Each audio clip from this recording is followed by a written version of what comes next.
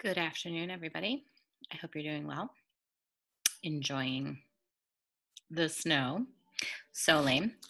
Um, okay, so today I'm so excited because I'm going to use my captive audience to really talk about editing uh, and revising because I feel like it is the one thing that is like so of, of such utmost importance, but that I, I never quite really get out um, and get the importance of out to people. So I'm gonna I'm gonna model revising today for you for my own writing. I just forced myself to write for 10 minutes, um, which is a, maybe a little bit of a inauthentic uh, model, but um, I, I made myself. I did did go back a few times and reread and change, but I, I worked really hard on not changing what I was writing so that I can show you my revision process on the screen and you can kind of see what I'm doing when I write. I'm, i have an idea for a story um, that I've had in my head for a long time and I have never written. Uh, I think it's kind of a fitting time actually to write it. So I feel like it's going to be really influenced by what's happening in the world right now. Um, we'll we'll see. You know how it is with stories.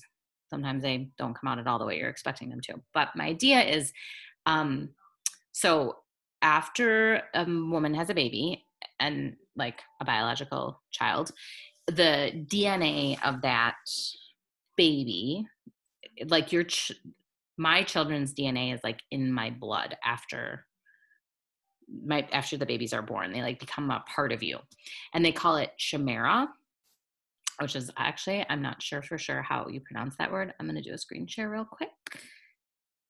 Um, so we can just look that up together. So um, it's it's spelled like this, and it's actually a Greek word um, for I you know what? Yeah, Greek mythology. It's a for a monster with uh, yeah with the body of a lion, a snake's tail, and dragon wings. I think is what it is, or goat. It's something about a goat too. I don't know what that is with the snake tail. I think it's a body of a lion, something head of a lion, body of a goat. Anyway, it's a creature made of three creatures. And then Chimera in women is when, oh goodness, hmm. I don't know why there's all a bunch of ladies in their bras. Um, I'll take that off images. Maybe it's something else too that I don't know about. Um, not that those were. So um it is when um you have different dna cells in your body and you can have that from pregnancy. Um i'm not a scientist. I just read an article about it one time and i was super interested in it. Where where am i? I'm going to go back to zoom. Um and I thought it would be a super interesting story to write about a future world where either, and I haven't quite decided this yet, there's some sickness like either it's cancer has gotten really out of hand um, and I, I was thinking about using cancer or some other like terrible sickness has happened that um, but they've discovered that the way to cure it is to use your mother's blood but then when your mother when the mothers give the blood to their children that then they die and that the story would be about a woman who is a mother who's found out that it's time for her to give to save her child's life um, and then therefore she'll die. And so it's like going to have a dystopian thing like you I, I think you can only have to have one kid because otherwise how would that work if you needed to try to save more than one kid? And also like you have to have a kid and i think that i'm going to work on like creating a dissidence or like a separation between the mothers and the children where they can't like have they don't have the same kind of relationship like they do here. So lots of comments on like society and problems within society the way dystopian stories have. But anyway that's my idea and it's been in my head for a long time. So i'm i started that today. So i wrote for 10 minutes uh, very well uh, i mean i wouldn't say it's very stream of consciousness but i didn't edit while i was writing. Um, and i did this because i feel like this is a, the way a lot of you when you write stories this is what you do. You just kind of get your ideas out on paper. And it's actually really brilliant. And it's one of the reasons why I love teaching young people writing is because it's just, it's just such a great way to write and it feels so good.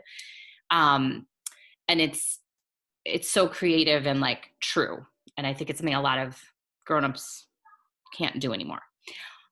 But the problem with it is, um, well, the ideas are so great that then what you have is you have a you have a rough draft. You have a real rough draft, um, and it really needs a lot of work in order to become something that can be readable to other people. Um, but I've noticed that a lot of times kids have a hard time going back. And so today I'm going to show you how very hard that is and model the revision process of this story that I have started. I got about half a page done in the 10 minute timer that I set myself. And um, I'm going to show you really exactly how to do it. And I, I wanted to show you this in a very like detailed manner. I know I've modeled my writing before, but I really want you to pay attention to the things I'm doing. The, the, the first thing I'm really going to be doing is I'm reading my story out loud. Now, obviously, I'm doing that because I'm teaching you, but this is what I would be doing even if I wasn't teaching you. I read it out loud. It's that's you have to. You have to read your writing out loud.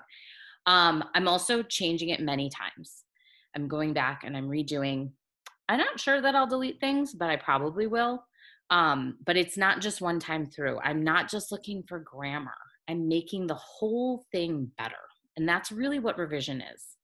And a lot of times in writing, teaching, there's editing checklists and there's these rules and like follow these rules and kids are like oh, i did it i checked i checked for that i checked for that i checked for that i'm done but you haven't necessarily made your writing and that's really where we want to get to is that place of making writing better because um, your ideas are great and your first initial sort of getting it all out there is awesome but that is you're just like a little bit onto the process so let's go to my story which is in this untitled document. Can you guys still see me when I'm showing you the screen? I can still see me, but I don't know if you can. All right, so I have this here. I'm gonna actually make it um, bigger and a larger font, maybe. Um, I named the character's daughter Maggie, which is Miss McGowan's daughter's name, which now I think of the main character as Miss McGowan. Um, so we'll have to see if we can make her a little bit like Miss McGowan. Okay, my first sentence. The letter came as she knew it would. Okay with that so far? She had imagined it coming while she stood in the rain, or just before she left for vacation, or as she was standing on a train platform. It seemed fitting that she be standing or sitting in a very poignant and movie like setting location when she received the news.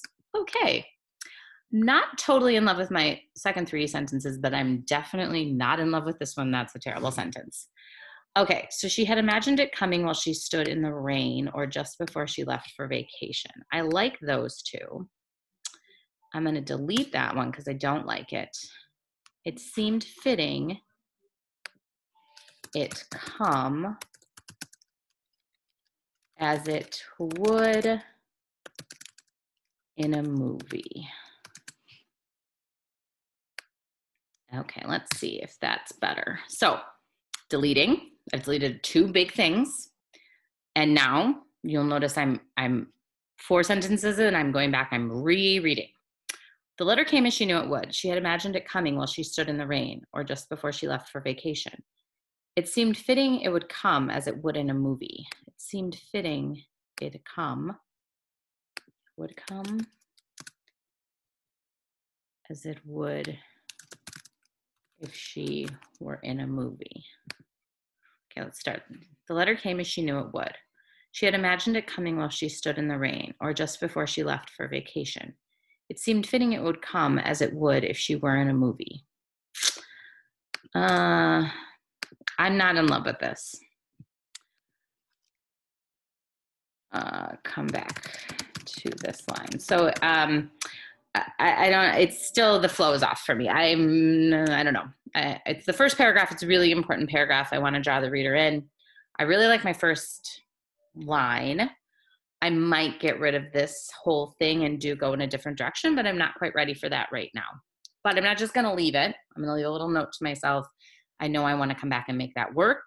this would be something that if I were to have a writing conference with my writing teacher, my wonderful writing teacher named Miss Ryan, I would be like, "Oh yeah, Miss Ryan, I needed some help with my my first paragraph. I can't quite get it, get it to flow." That's a really good thing to talk about with another writer because they can give you some feedback on that. So I'm gonna move on for now, but I'm still a little like with that. Okay, so second paragraph. Instead, she was just sitting at her kitchen table drinking a cup of tea and reading her book when her phone dinged. Instead, get rid of just, she was at her kitchen table with a cup of tea growing cold before her and a barely begun Okay, so what I just did there, oh, I gotta keep this phone ding in there. Uh, barely begin, no. I barely started and I've, and a, I'll just say new book. Okay, so let's see that sentence. Instead, she was at her kitchen table with a cup of tea growing cold before her and a new book in her hands. I like that. What I did there is I just took a sentence that I'd written that was a pretty boring sentence and I made it more literary. I made it more flowy, pretty, you know.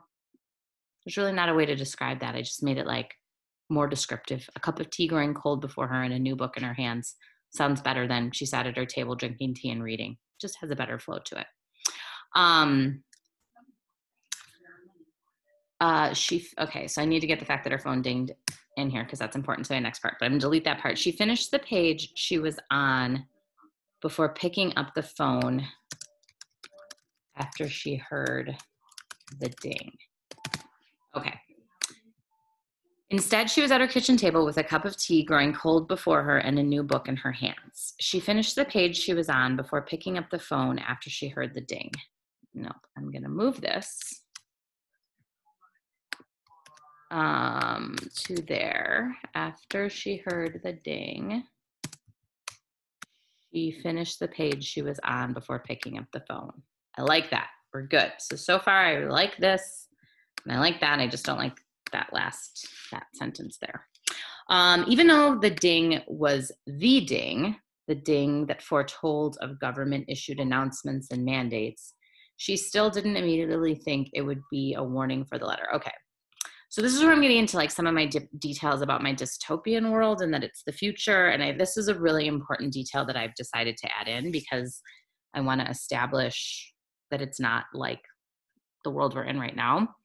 Um, so I definitely need to keep this in here, but this is an awkward sentence. So after she heard the ding, oh no, even though the ding was the ding, that's a, just the ding that foretold of government issued announcements and mandates, she still didn't immediately think she didn't she still didn't immediately think maybe I can just say of the letter. She still didn't immediately think of the letter when she heard it. There she there we go. Okay.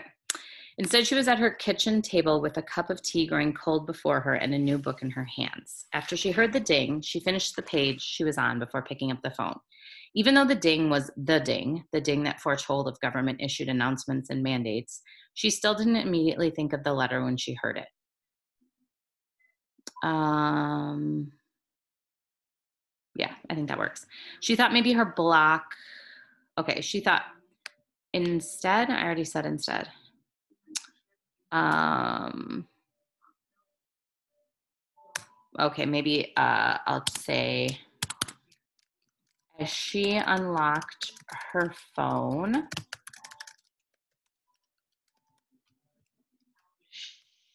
she idly thought maybe her block was on lockdown again.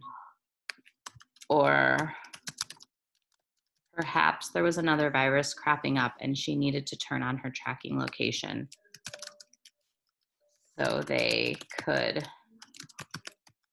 complete contact tracing. I don't know if I'm to leave this in here, you guys. This is like so, it's like so um, um, pandemic and like I don't know, it's maybe a little bit cheesy because it's so like timely. Um, so we'll see. I, I, might change this to a different detail, but I was just thinking about how um, they're saying that they want to like have people track their where they were so that if they need to do contact tracing once we all enter the world again they can do it and that people are saying that that's like creepy and like dystopian society-ish so I, I don't know if i'm gonna leave that in there but it's a future detail of some kind. Okay so uh, another thing you're going to notice that i did and i want to point this out because this is something that a lot of times when middle school writers write they don't use paragraphs and i and i purposefully tried to not put paragraphs in so you could see me doing that. This was all one paragraph and i'm now have made it into three.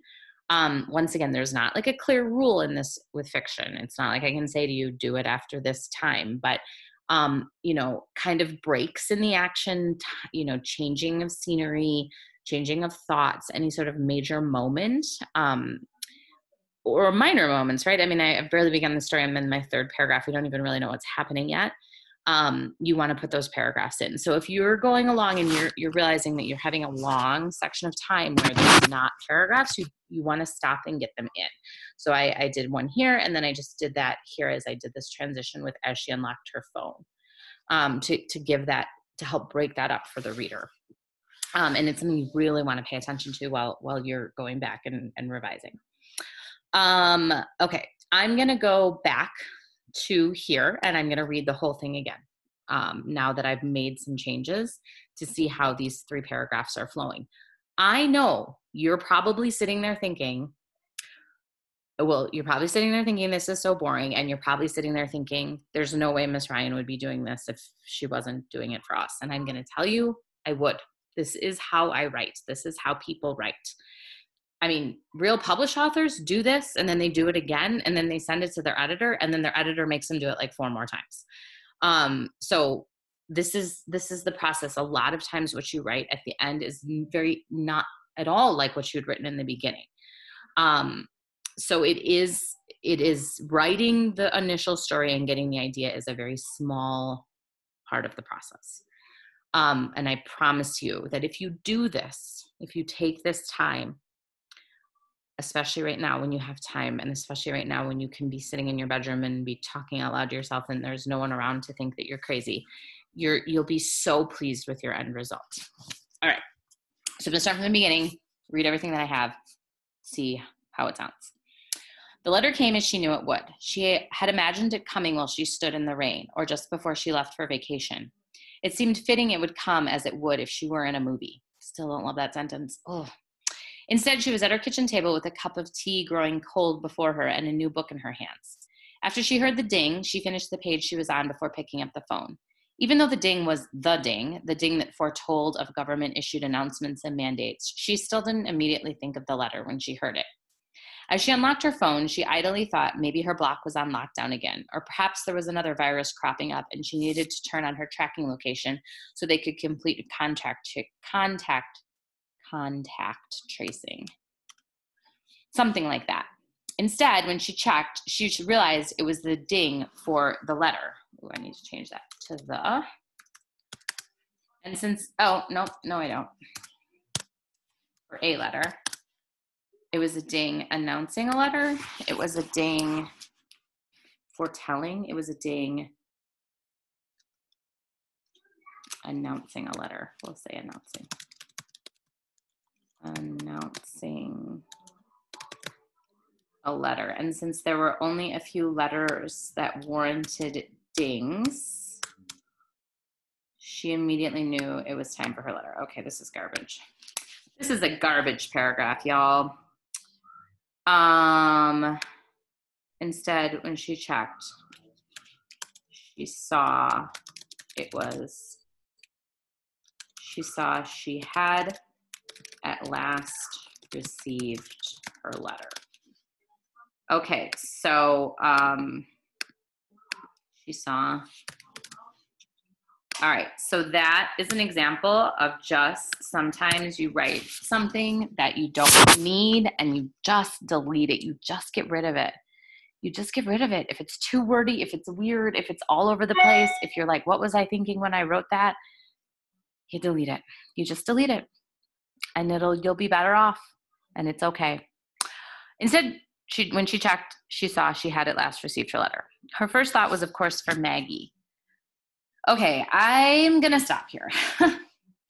I don't know how long I've been talking, um, but I feel like it has been for a while, and then I'm probably starting to lose you, um, which is fine. I get it. YouTube videos can be boring. Um, I don't know that I'm, I may do this again tomorrow. I know it's kind of boring, but I really do think that if you guys can watch me and see how important this is, then and then do it yourself, you really truly will become better writers. Um, or I may do something else tomorrow. I haven't decided yet. Um, but I also know that I was getting real into like a tough part while I was while I was writing these next two paragraphs, and it's going to take me a while, and I'm not going to put you through that right now. Um, but what you should do, what you should take this to mean, is you should take this to mean that it takes a while to write, and it takes a lot of changes, and it takes a lot of going back. And um, I may, yeah, we'll we'll see. I'm going to think about tomorrow. Um, but that's what the point of this is. Uh, tomorrow there will. So if you watch to the end of this, hopefully you did, uh, know that tomorrow there will be something you're going to do by the end of my lesson that, that you're going to need to get done. So you can't skip it. Um, okay, that's it. I hope you're well. I hope you enjoyed this and I hope you have fun writing. I know I had fun doing this. I will see you soon. Oh, wait, I wanted to show you my ridiculous dog first. I was going to do this at the beginning of the video. Oh, he's not doing it anymore. He was sleeping in a really funny way. Okay, I'll show him tomorrow. All right. Goodbye, my loves. I will talk to you soon.